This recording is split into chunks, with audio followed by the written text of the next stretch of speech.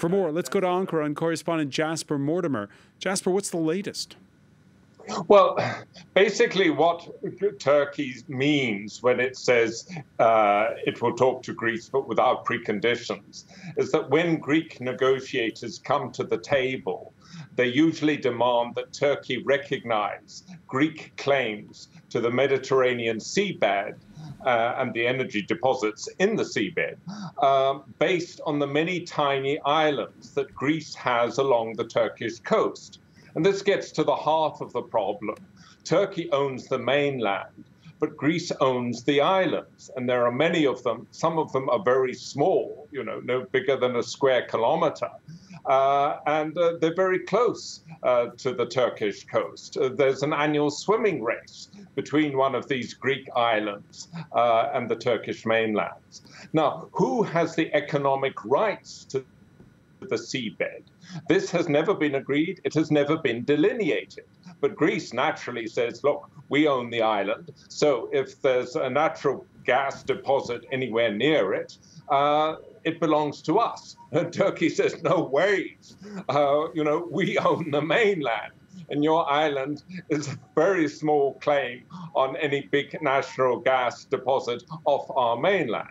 So it's it's an ongoing problem, and it won't be settled unless it's until it's settled by the World Court or some other forum of international arbitration. But there's the wider context right now, Jasper. Tensions over Libya, uh, the fact that you've got uh, France, Italy, uh, Cyprus drawn drawn into this. Just how tense is it right now where you are? It's not very tense, uh, that's for sure. Here in Turkey, we do not feel that we are marching to war with Greece.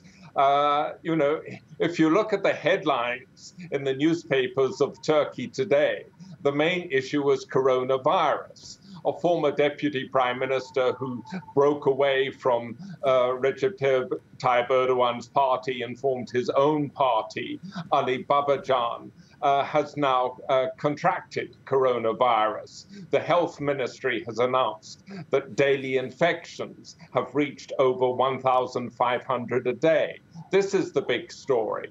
If looking at the uh, headlines on the websites of the big newspapers, sure, they've got uh, comments.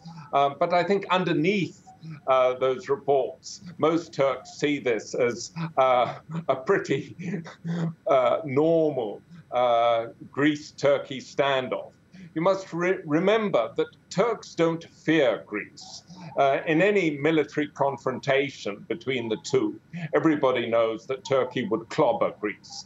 Yes, you're right. This is has a background of uh, what's happening in the Mediterranean, uh, Turkey and Libya uh, trying to carve up the economic uh, zones of the Mediterranean between themselves and extending their uh, exclusive rights across the Mediterranean uh, in defiance of international law. That has caused tension.